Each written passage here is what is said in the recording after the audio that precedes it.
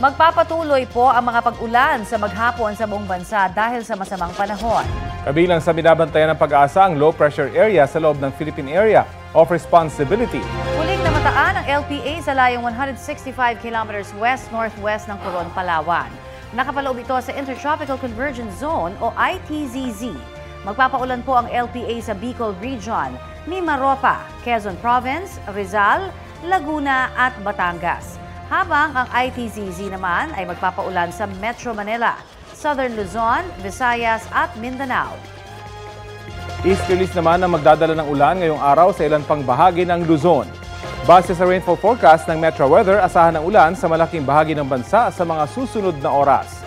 Posible ang heavy to intense rain sa ilang lugar na maaaring magdulot ng baha o landslide.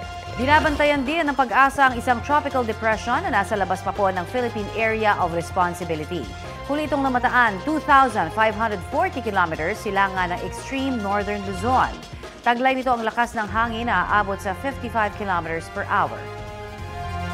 Sa ngayon, mababa ang tsansa ng nasabing bagyo na pumasok sa PAR.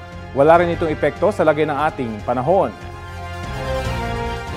Lunes na lunes, pahirap ang biyahe agad ang sinuong ng ilang commuter dahil sa magdamag na pag-ulan sa Metro Manila. Tulad sa Commonwealth Avenue kung saan maraming commuter ang nag-aabang para makasakay sa gitna ng pag-uulan. Magang traffic din ang dulot niyan kasabay ng pagdami ng mga sasakyan sa kalsada.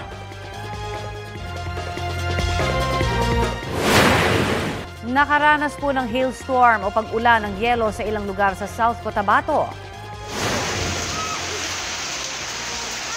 Ayon sa uploader ng video, sinlaki ng mga butil ng mais ang bumagsak na yelo kasabay ng malakas na ulan. Naranasan po yan sa Barangay 5 sa bayan ng Banga. Tumagal ng halos limang minuto ang hailstorm. Sa Candelaria, Quezon naman, limang bahay ang napinsala sa pananalasa ng isang buhawi. Ayon po yan sa mga residente, ay halos apat na minuto nagtagal ang buhawi sa gitna ng palayan. Matindi raw ang sikat ng araw nang bigla raw dumilim at umihip ang malakas na hangin. Wala namang naiulat na nasaktan. Huli sa Pililla Rizal ang isang lalaking wanted matapos pansamantalang pagsamantalahan umano ang kanyang minor de edad na anak. Itinanggi niya ang akusasyon. Balita hatid ni EJ Gomez. Sa bisa ng arrest warrant, dinakip ng mga pulis ang 42 anyos na lalaking ito dahil sa panggagahasa umano sa kanyang sariling anak na minor de edad sa Pililla Rizal. Ang lalaki itinuturing na most wanted person ng Rizal. Na-serve na natin yung uh, warrant of arrest na inisyu ng korte for uh, three counts of uh, qualified uh, rape.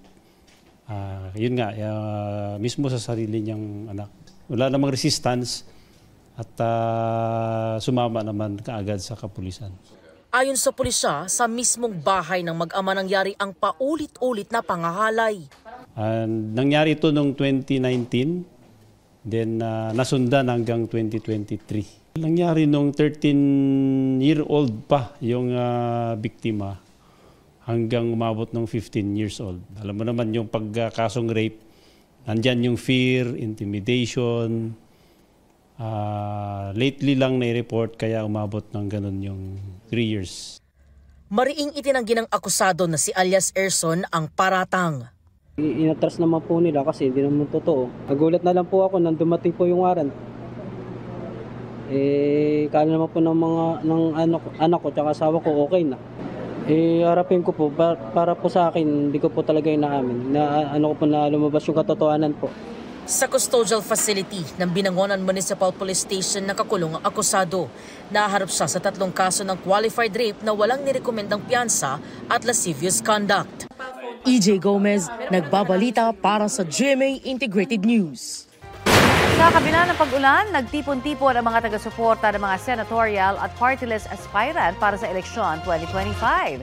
Kaya bukod sa mga payong, bit-bit din nila ang ilang gamit na magpapakita ng kanilang suporta sa mga kakandidato.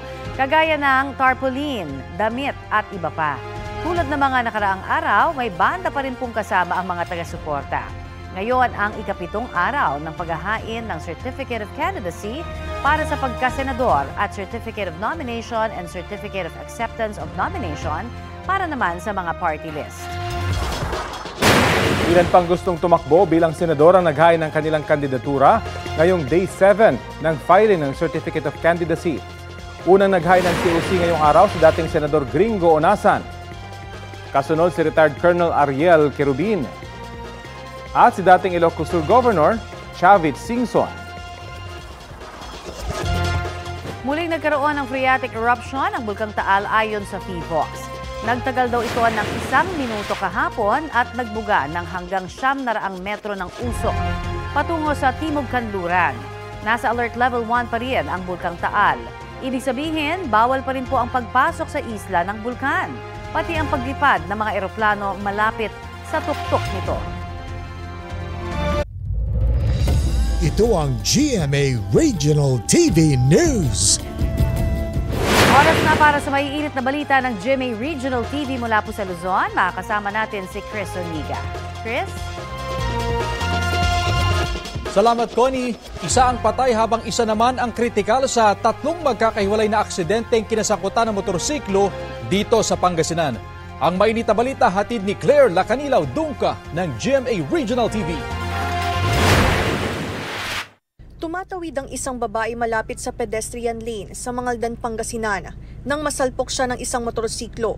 Base sa investigasyon ng pulisya, galing ang biktima sa tindahan at pauwi na sana nang mangyari ang insidente. Naisugod pa sa ospital ang biktima pero idineklarang patay makalipas ang dalawang oras. Nagtamo siya ng head injury at nabalian din ng buto sa dibdib.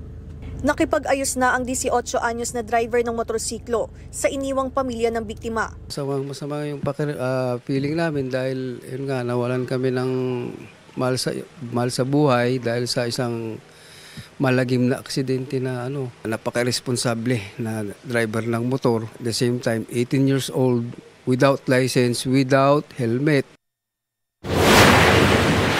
Tumatawid din sa kalsadang isang motorsiklo sa Kalasyaw, Pangasinan nang biglang nabangga ito ng paparating na kotse.